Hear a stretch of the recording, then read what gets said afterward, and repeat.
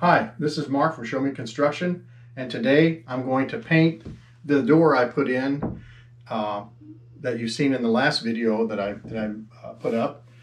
And I've already puttied the holes uh, right now so they could be drying. I just puttied them with my finger uh, and some spackle. And I'm going to sand these, sand this up and caulk the joints I'm going to tape off the hinges and I'm going to start painting. When I puttied the holes, I used this paint and patch, this DAP paint and patch, dries in 30 minutes, lightweight spackle. And I just put it on. I just dipped my finger in it and applied it with my finger. And if you notice, I, I didn't I didn't make them smooth because when you try to rub it off with your finger, you divot you divot the hole. You make a little dent in it. So you want to leave it up a little bit, built up, and then that's what you come back and sand off in about 30 minutes to an hour. You sand it off when it's dry, and then there, that way the your surface is nice and flat. And at this point, I'm going to take 220 sandpaper and just start sanding over these joints. Just sanding the sanding the putty off that I put in, the lightweight spackle.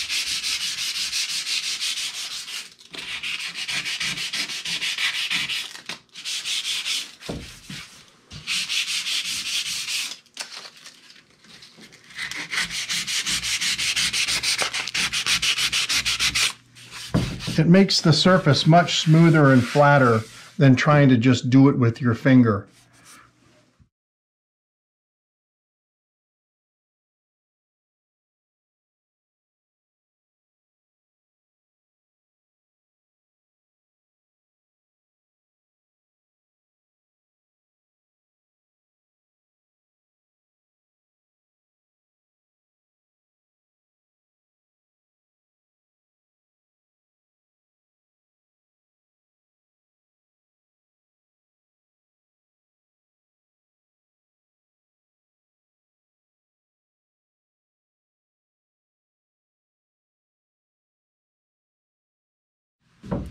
And the important thing is you want to be sure to do this before you caulk the joints because caulking doesn't sand real well. And we're going to do this to the jamb and of course the other side of the door. It's the same, you do it the same way.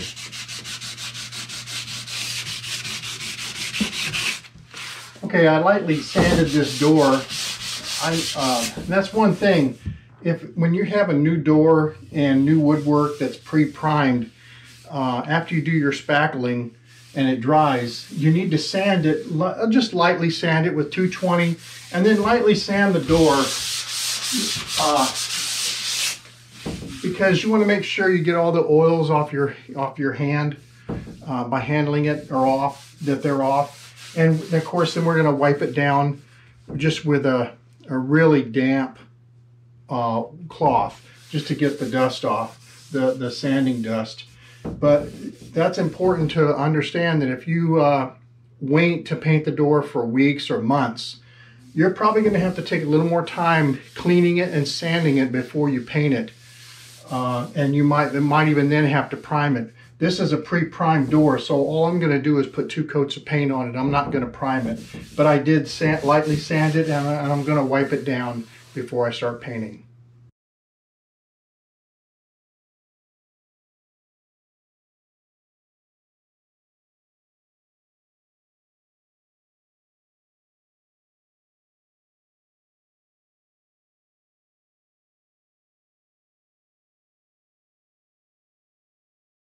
And now I'm going to caulk the joints with this Alex Plus latex painter's caulk.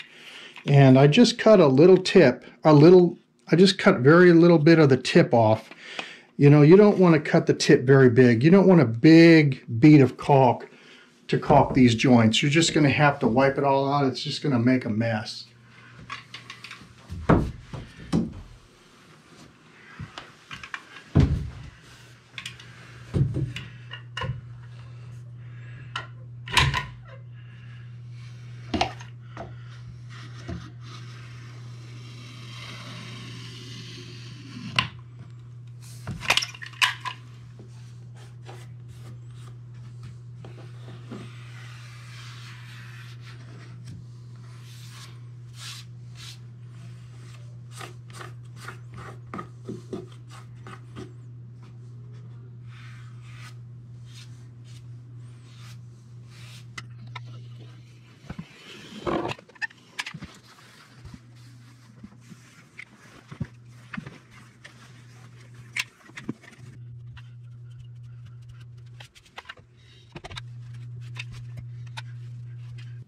Okay, now that I have it all caulked and puttied, and of course, again, I emphasize you need to putty it and sand it before you caulk it. And then, but now that that's done, while that caulk is drying, I'm going to tape off these hinges. Um, it just helps me so I don't have to be as careful with the painting when I'm going around it. And I'm just going to put a piece of tape over it.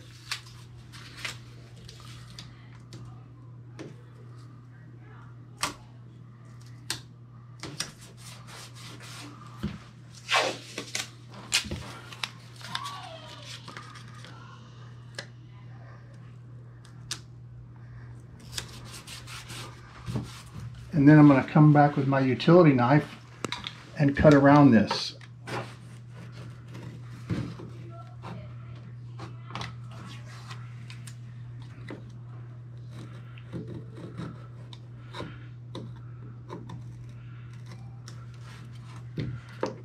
It just helps so when I'm using a brush, I don't have to be as careful around these hinges.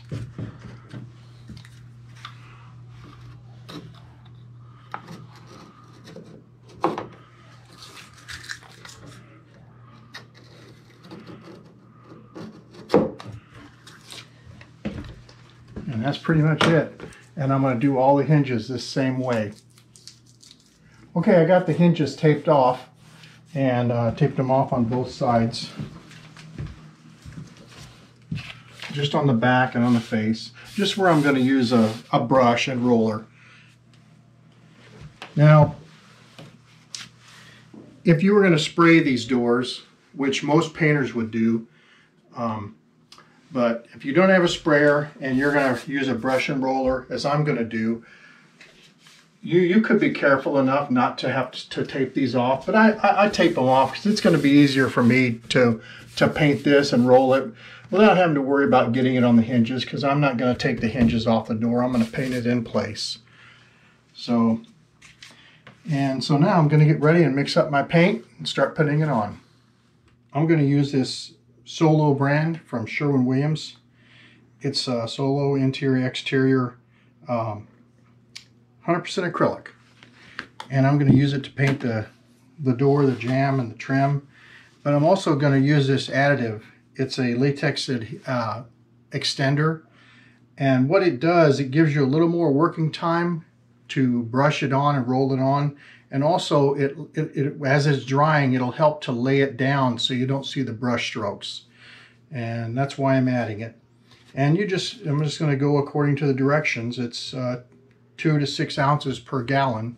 So I'm going to put two to six ounce, or I'll put about four ounces in, I guess, in my gallon of paint here. And then I'm going to start brushing. And the way I'm going to brush it, I'm going to take my brush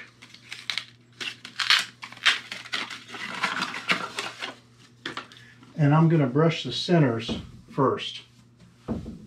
The center around all this. And I'm going to take a have a, a damp rag with me. If I get any paint on this flat part, I'm going to wipe it off because I don't want any paint on this right here with the brush. I'm just going to paint inside this uh, raised panel look. And then after that's done, then I'm going to go over it with the six inch roller over all the flat surfaces and I'll do the edges. But anyway, I'm going to get set up and mix it up in my paint.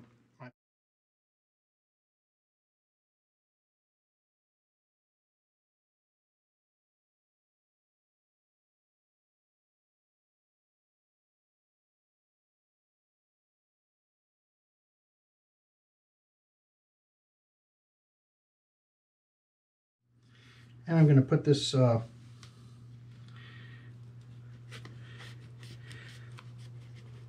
spout guard on here because I don't want to get my paint all over the side of my can. It just snaps onto the inside rim and then you can pour it into a into a bucket or wherever you're going to pour it. I'm going to pour some in.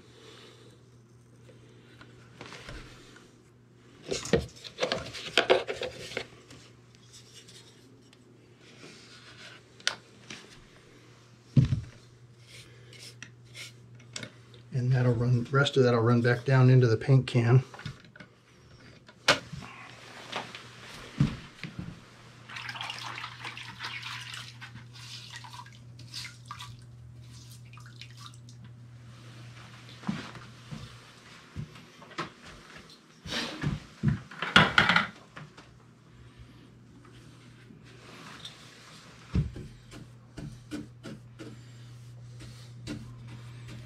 when you're painting, you just want to make sure that when you get your paint on, the last thing you want to do is just run a run a stroke, one long straight stroke down it.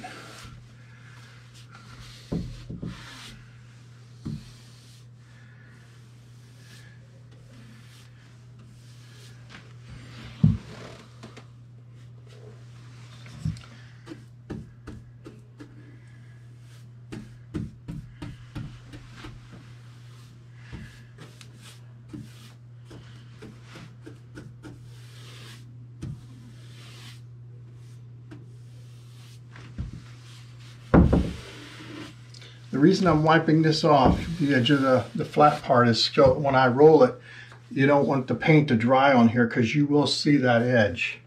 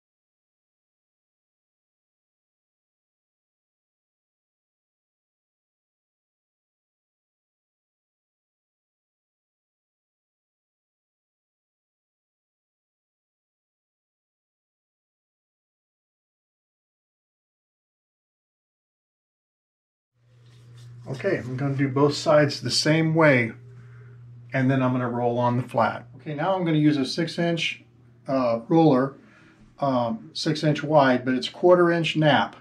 And I'm going to go over the smooth part of the door.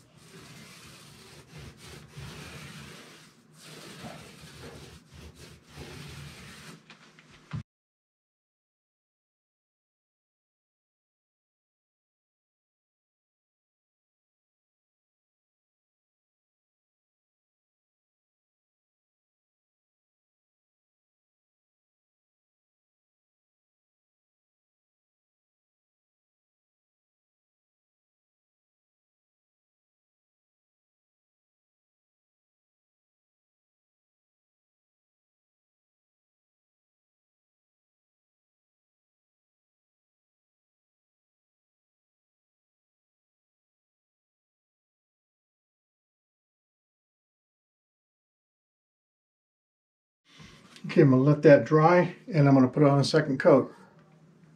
Okay, now I'm to start putting the second coat on. And basically I'm just to do the same thing like I did on the first coat. I'm to do this inside first. And again, the last one you want to take a just a sweep.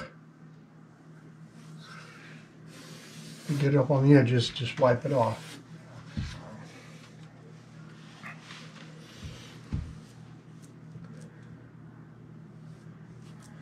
You want to try not to get the brush surface or the brush marks on this surface if you can help it. And if you do, if you get on there, just take your your thumb or your finger wipe it off, or if you have a damp rag.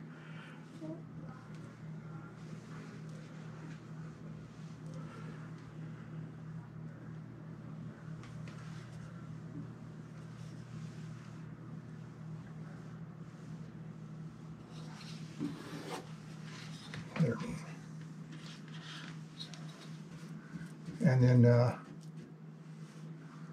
we're just going to go over this whole thing again. Second coat.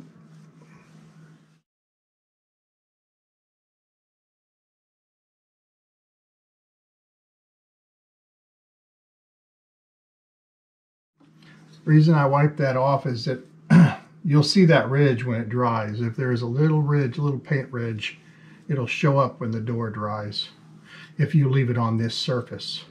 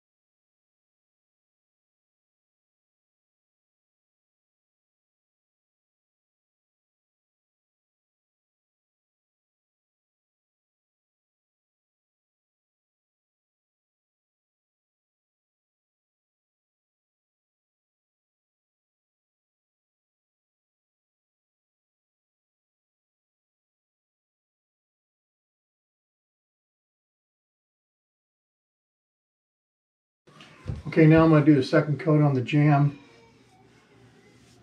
I just did the, it's the same as the door in that you want to put the paint on and then your last stroke, you want to make long, even strokes. So it lays down even when it completely dries.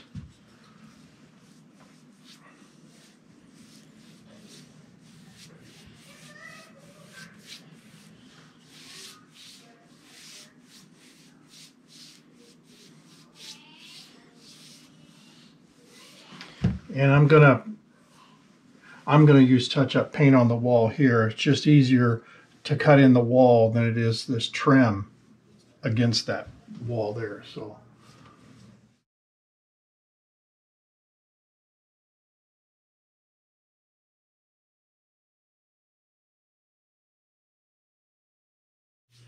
And I don't I don't recommend sponge brushes.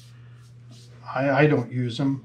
I know some people do, but I just use a regular paintbrush like this. Well, one for one for this type of paint.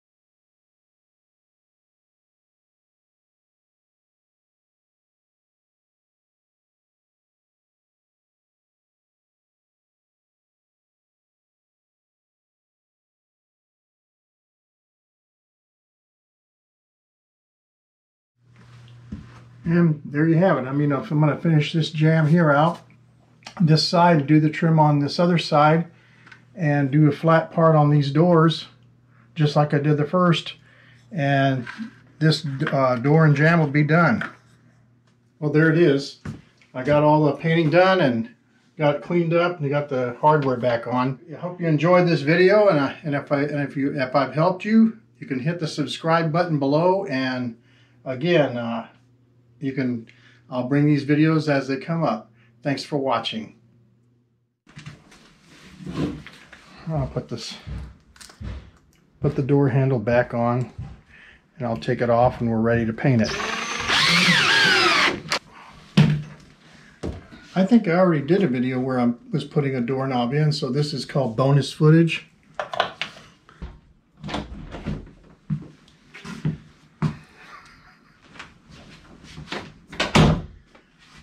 Success.